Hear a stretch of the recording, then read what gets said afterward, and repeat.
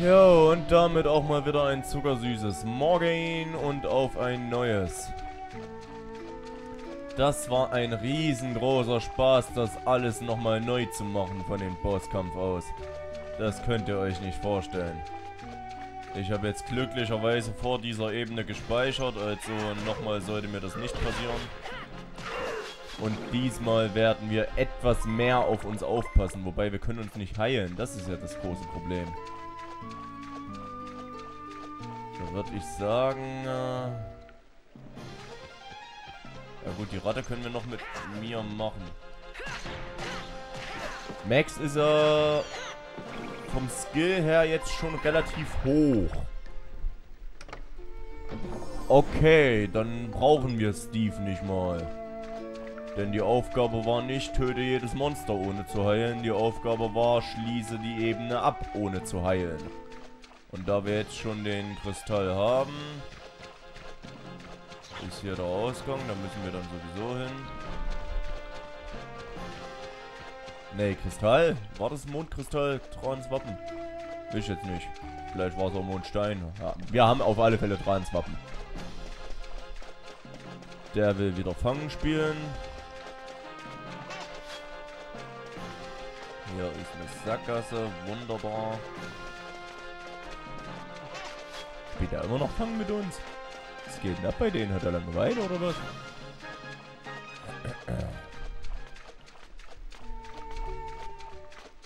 Das sind aber zwei verschiedene. Das, eine war ein Captain und kein Corsair.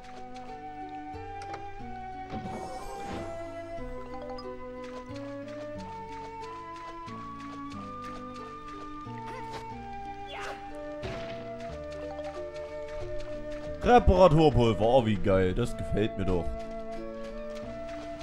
den. Da ist nichts drin. Dann holen wir uns noch die zwei Kisten, die dort sind. Und da hinten ist auch noch eine Kiste. Juppie, du. Ja gut, da gehen wir dann mit Steve rein. Machtkristall. Das finde ich auch geil. Ich will zwar immer noch ein paar Zerstörungskristalle, aber Machtkristall... Damit kann ich auch leben. Und da hinten scheint dann auch das Atlamilia zu sein.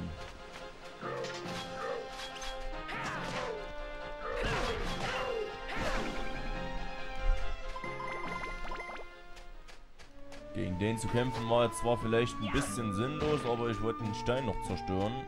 Der hat nichts getroppt, schade.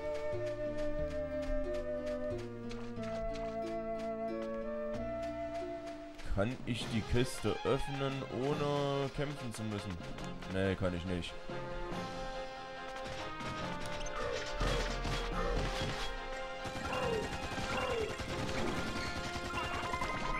Das war jetzt ziemlich bescheuert von mir. Dass ich zu Steve gewechselt habe, wenn ich von zwei solchen Corsairs in die Ecke gedrängt werde. Da müssen wir dann wieder zu Cedric gehen, damit er uns heilt. Da haben wir jetzt eine ganze, ganze, ganze, ganze, ganze Menge Leben verloren.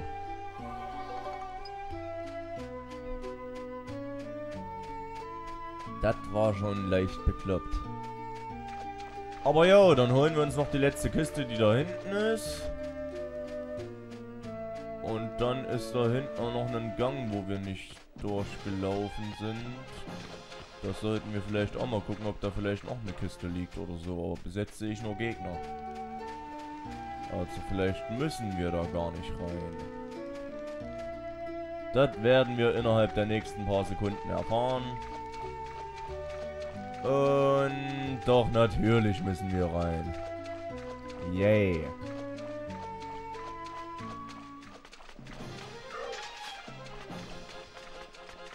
Ja gut, dann holen wir uns halt noch die letzten drei Kisten, die da sind. Und dann kann es auch auf in die nächste Ebene gehen.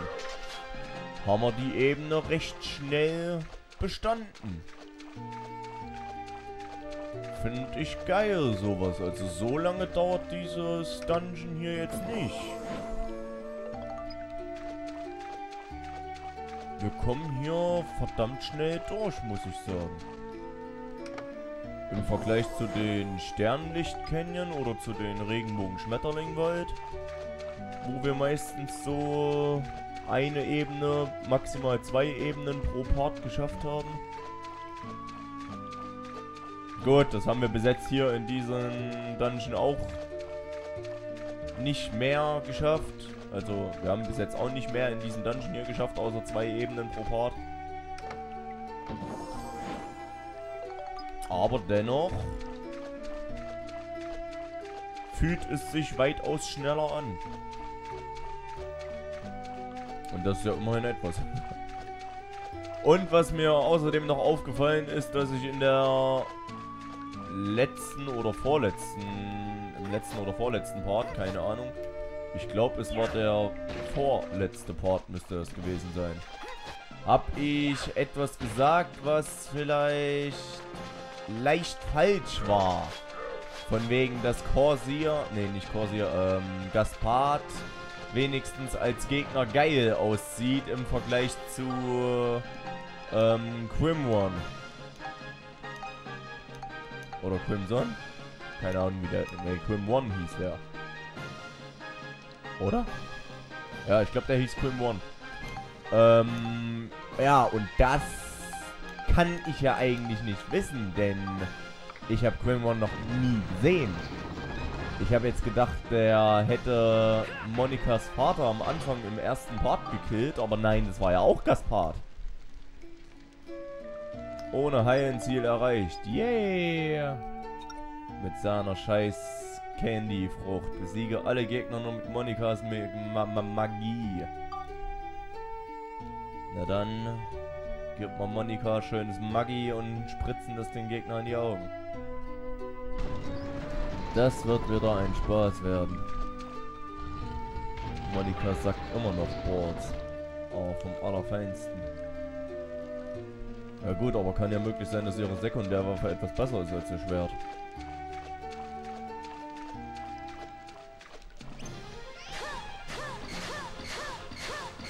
Kein Effekt. What?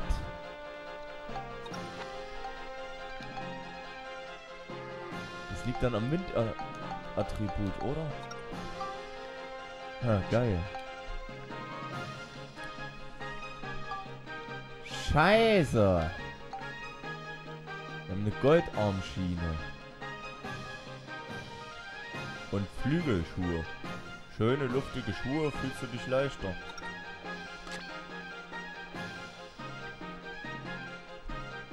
Hm.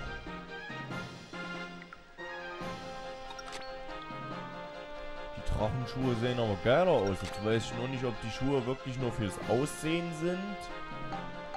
Oder ob die auch Werte ändern, wie zum Beispiel Geschwindigkeit. Müsste ich dann mal ausprobieren. Auf alle Fälle, wir haben jetzt nur die Goldarmschiene als andere Sekundärwaffe. Da können wir die quasi nur nehmen. Hat aber auch kein... Hä? Wieso hat denn das alles keinen Effekt? Was?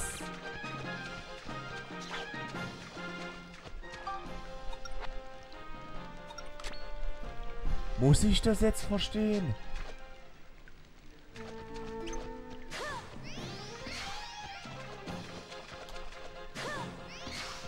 Ja gut, dann fixst du dich, dann kann ich die Gegner halt nicht nur mit meiner Magie besiegen. Woran das jetzt liegt, keine Ahnung. Ich kann mir nicht vorstellen, dass die Rad... Ach, schei... Warte mal, nee. Status. Ich kann ja hier auch das Attribut nicht ändern.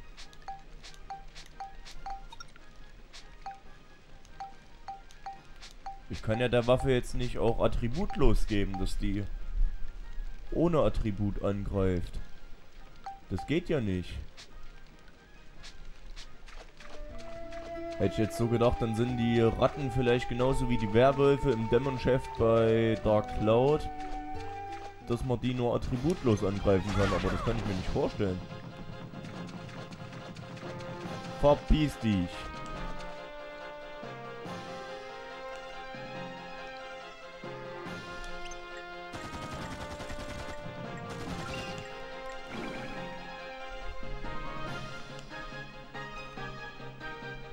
Solche Schildkröten kämpfe ich nicht. Nicht mit Monika. da ist ein Tod schon fast vorprogrammiert.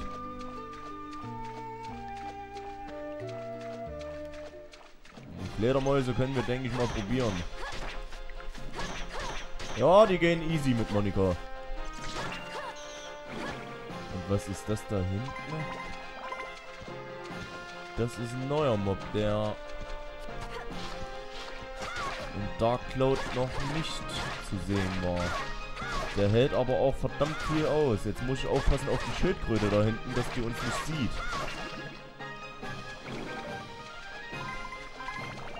Ja, der wechseln wir mal wieder auf Max. Der hat auch so noch genügend Leben, da können wir... Oh lol, der zerfickt die ja vom Allerfeinsten. Nice.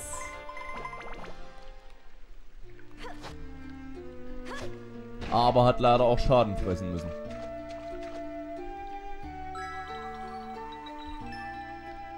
Und natürlich ein Teufel. Wieso auch nicht? Halbiert Monikas GP. Ja, natürlich.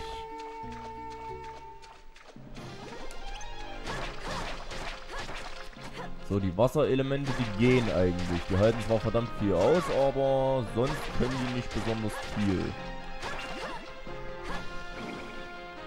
Was ist das? Das ist eine Ratte, okay.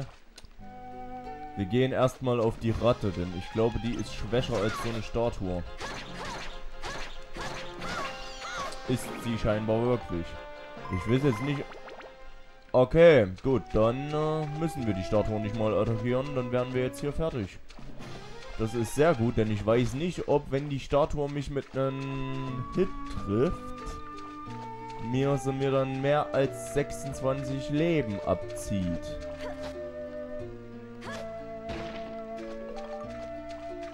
Richpot einer. Oh, das ist sehr geil. Das ist wirklich geil. Da kann ich jetzt meine Richpot-Energie nehmen und meinen Richpot wieder aufladen. Da brauchen wir Cedric nicht mal. Geil! So gefällt mir das doch.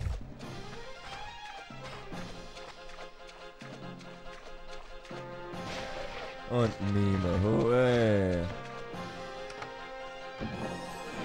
Und eine leere Schatztruhe. Oh, fickt euch doch. Alter, sowas regt mich auf. Och nein. Na gut, wir nehmen eine Giftvolle. Alles andere. Ja, super. Alles andere hätte mir auch nicht besonders viel Schaden gemacht. Eine Explosionsvolle bringt unsere Leben auf 1. Da kann man uns immer noch heilen. Wir haben, denke ich mal, genügend Käse oder Knusperbrote.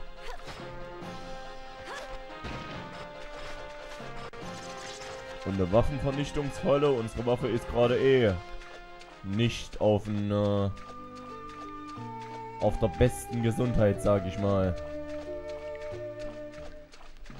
Also das hätte uns auch relativ wenig gestört.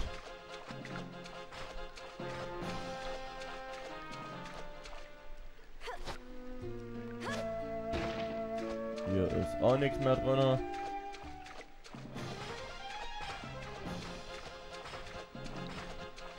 Und hier befindet sich auch überhaupt gar nichts mehr. Okay, ich dachte, ich hätte hier jetzt einen Stein über... Hab ich auch. Meine Falkenaugen übersehen sowas doch nicht. Reparaturpulver, geil. Sowas will ich auch nicht übersehen. So, und das heißt, dass hier hinten dann auch irgendwo der Ausgang sein muss. Da geht's hoch, hier ist der Ausgang, geil.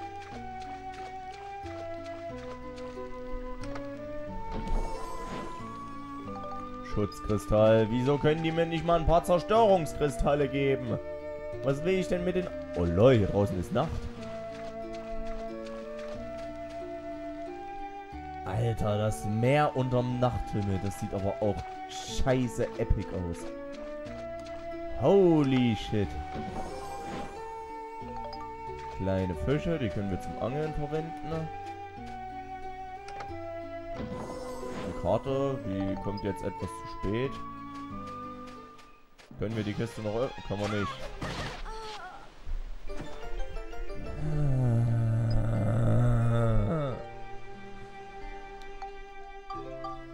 Ist jetzt aber auch ein bisschen gefährlich, würde ich sagen.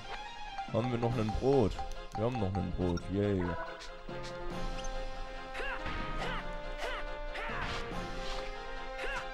Ja, geil.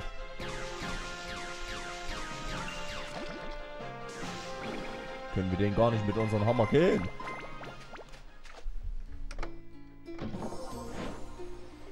Farbe schwarz finde ich immer geil. An unseren Items hat sich natürlich jetzt auch ein bisschen was verändert, da ich ja neue Truhen bekommen habe. Als die, die wir in der letzten Folge dann bekommen haben.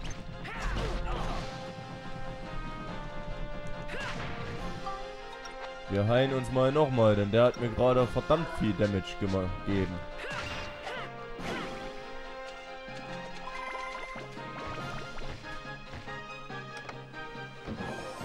Na toll. Sowas brauche ich auch überhaupt nicht. Ah ne, das Transwappen da hinten. Nein, nicht Transwappen, ähm, Atlamia. Kein Gegner. Das Atlamia sollten wir natürlich noch mitnehmen.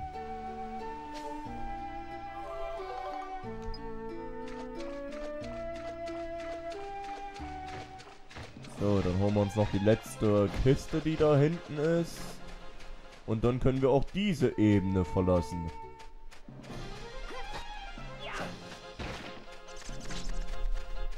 Und da könnt ihr dann auch sehen, dass ich recht hatte mit, dass dieses Dungeon hier weitaus schneller geht als die anderen Dungeon. Denn dann hätten wir drei Ebenen innerhalb eines Partes geschafft.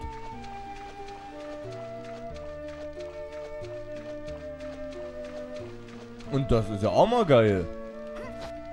Ich meine, sonst nur eine Ebene, maximal zwei Ebenen und jetzt haben wir plötzlich drei Ebenen. Und je nachdem, wie schnell die Ebene, also die nächste Ebene jetzt noch rumgeht, könnten wir vielleicht noch vier Ebenen schaffen. Das glaube ich aber kaum. Aber... Wir kommen voran. Aha.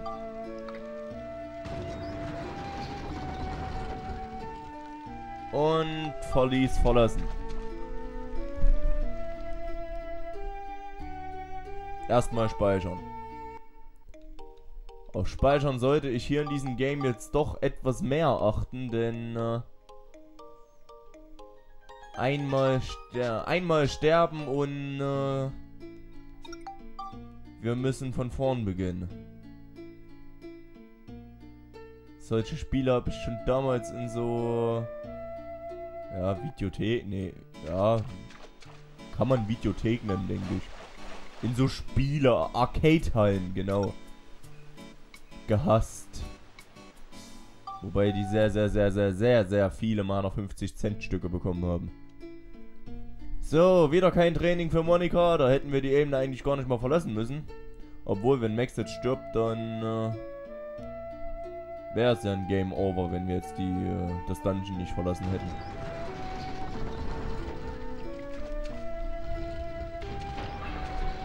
Ist aber wenigstens ein gutes Training für Max.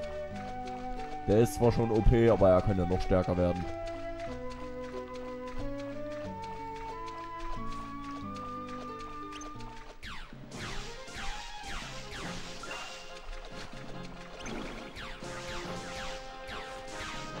Alter, der war... So ein Wichser. So, stopp. Uh, wir haben aber eine ganze, ganze Menge Synthesepunkte hier drin. Angriff, Blitz, Exorzismus und Schuppe. Sechsen. Ja, wir brauchen Blitz.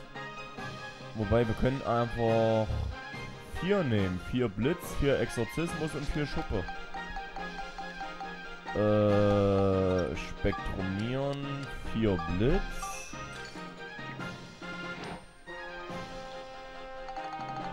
Hm, ja, unsere letzten Exorzismen. Oder Exmorzismusse. Und vier Schuppe.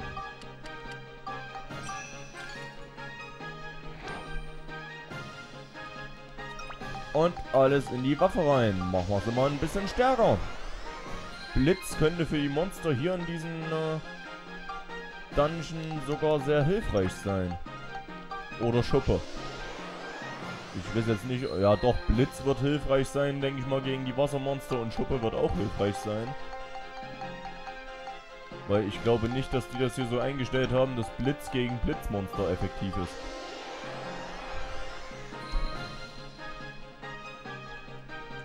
Und da schauen wir mal.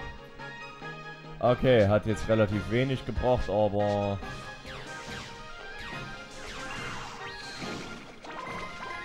Oh, eine Tante Medu. Die hält eine ganze, ganze, ganze Menge aus.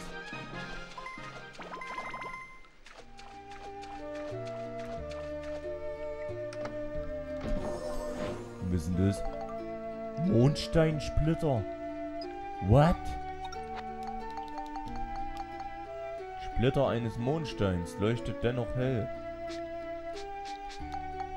Damit können wir auch überhaupt nichts machen. Ah, das könnte vielleicht ähm, für eine Tür oder sowas sein. Also wie ein Knochenschlüssel in Transhöde. Oder halt wie so ein Stock in Regenbogen-Schmetterlingwald.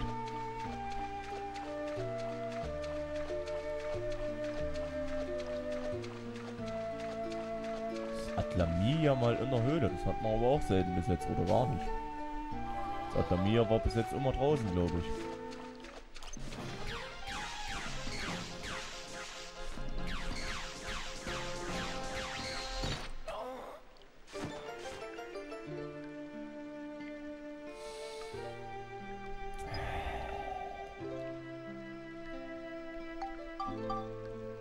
Damit habe ich jetzt nicht gerechnet. Wie viel Damage hat die uns jetzt gemacht?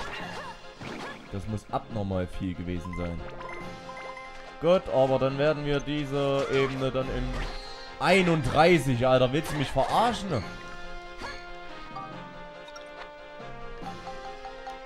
Mal schauen, ob wir das jetzt noch überleben.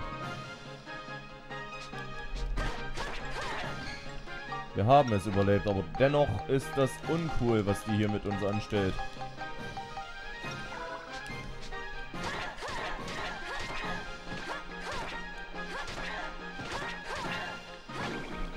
Holy shit, geht die ab.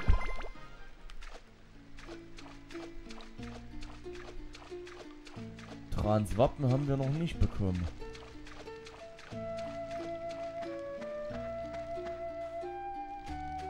Ah, das ist blöd. Na gut, wir werden dann äh, in der nächsten Folge diese Ebene hier auf alle Fälle wiederholen. Also haben wir doch nicht so viel geschafft hier in diesem Part. Waren doch nur zwei Ebenen sozusagen. Oh nee, wieso denn nur die? Die gefällt mir nicht. Alter!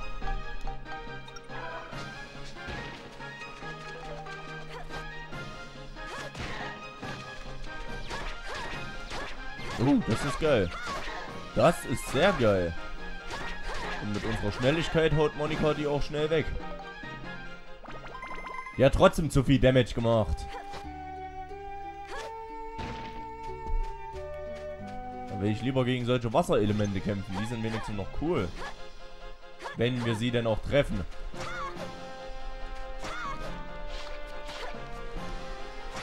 Alter, was geht denn jetzt hier ab?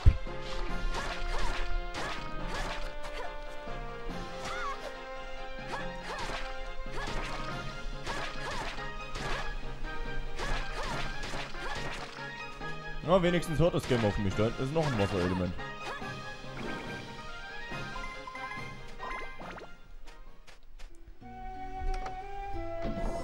Und eine Karte. Das gefällt mir, denn so viel haben wir jetzt noch auch noch nicht erkunden können.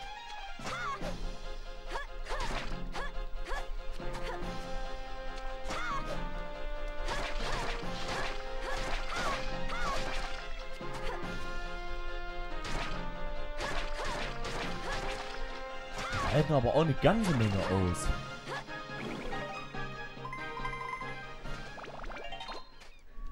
Und eine Mime, das war mir schon fast klar. Auch noch Meme-König oder was? Ja, natürlich. Sechs und Alter!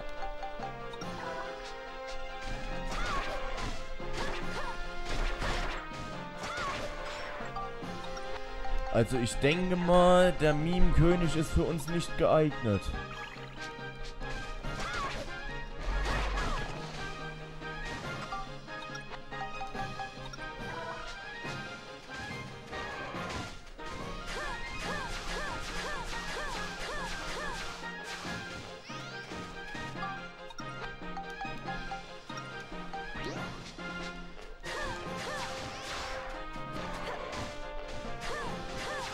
Habe eine Idee.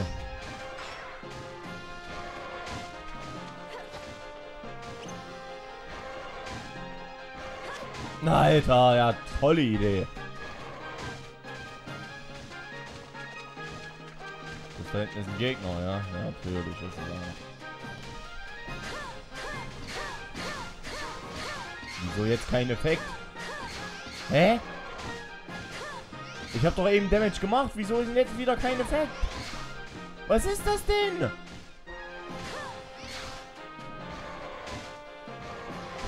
Ich fühle mich gerade leicht verarscht.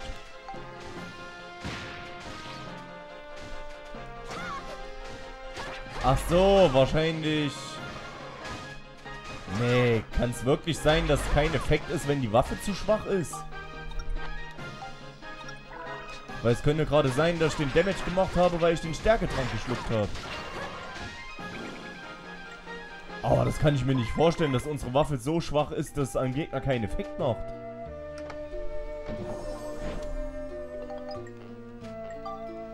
Schlucken wir noch so ein Knusperbrot. Geil, geht unser kompletter Heal weg. Ich meine, klar, Monika ist schon äh, gerade sehr schwach. Aber so schwach, dass es null Damage am Gegner macht, das kann ich mir nicht vorstellen. So unterlevelt darf Monika, kann Monika einfach nicht sein.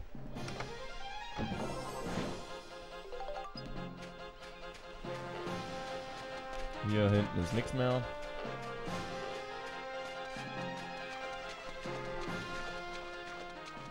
Auf der anderen Seite war auch nix, oder? Da sehe ich bis jetzt nur Gegner. Da sind scheinbar auch nur Gegner. Dann geht's jetzt wieder hier rein.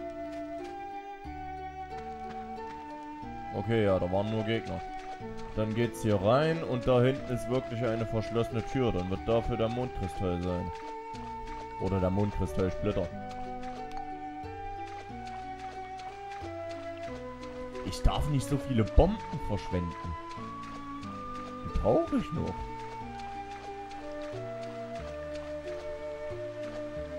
Warte mal. Ein Hindernis versperrt den Weg. Aha. Sehr kreativ. Dein Ernst? Oh Gott. Ein paar grobe Steine, ja, kann man immer gebrauchen. Ist was Feines. So, und wo ist jetzt der Ausgang? Da hinten, oder wie? Ne, da ist der Eingang. Ach, da ist der Ausgang. Okay. Hier waren wir schon.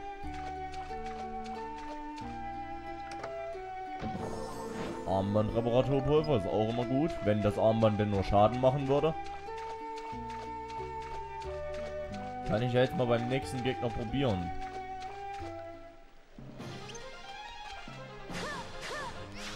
Gut, wir machen... Gut, wir machen aber auch verdammt wenig Damage.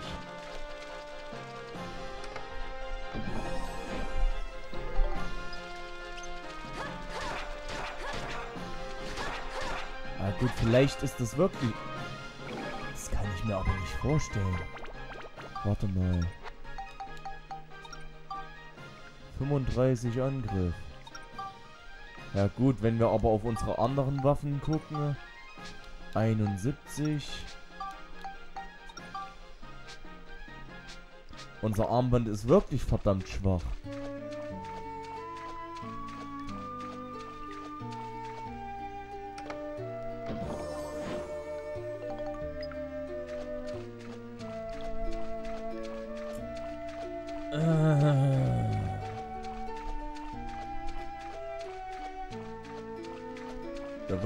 Sagen, beende ich jetzt den Part.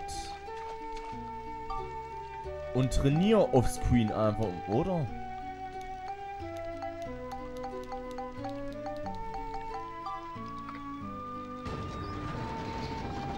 Ja, würde ich sagen, beende ich jetzt den Part und trainiere offscreen dann einfach mal ein bisschen.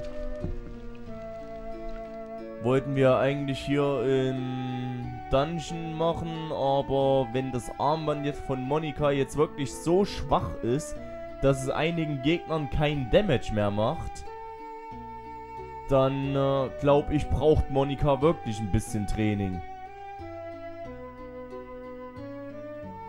Naja, werden wir dann, denke ich mal, so in Regenbogen-Schmetterling-Wald? Schaue ich mal, wo ich trainieren werde. Wenn ich da irgendwas Neues schaffe oder bekomme, kann ich euch das ja dann sagen. Ich werde das jetzt auf alle Fälle alles offscreen machen, das müsst ihr nicht sehen. Das kann einige Stunden dauern und das ist ja auch langweilig für ein Part zu sehen. Klar ist es auch, wenn man in einer in einen 100 Ebenen Dungeon rumläuft, wie in Dark Cloud im Demon Shaft. Aber da habe ich dann Timelapse gezeigt und das gehört dann einfach zu den Game-Fortschritten mit dazu. Aber trainieren, ich denke mal, man könnte das Game bestimmt auch irgendwie durchspielen, ohne extra in Ebenen trainieren zu müssen. Oder? Habe ich das geschafft? Ich glaube, ich habe auch da... Ich glaube, ich habe auch damals trainiert. Aber bestimmt schafft man das auch ohne extra trainieren zu müssen dafür. Egal, ich hoffe, es hat euch gefallen. Freue mich, wenn wir Abos und Likes. Und in der nächsten Folge werden wir dann in diesen Dungeon die Tante Medusa uns wiedersehen, wo wir dann versuchen, mit Max seiner Schusswaffe alle Monster zu besiegen. Bis dahin, euch noch ein zuckersüßes Tüdel und ciao, XD.